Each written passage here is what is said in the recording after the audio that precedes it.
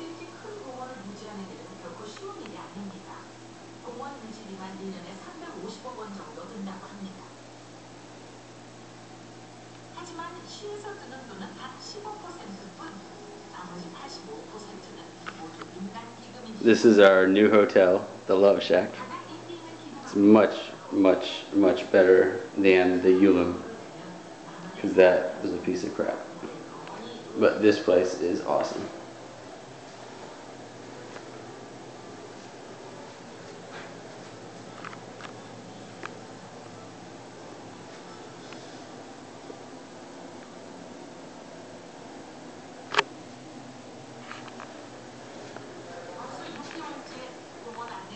It has heated floors,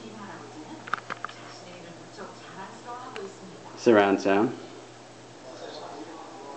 a big TV, a refrigerator, a water purifier, and two computers. It is much better than the other hotel. But the view isn't that good.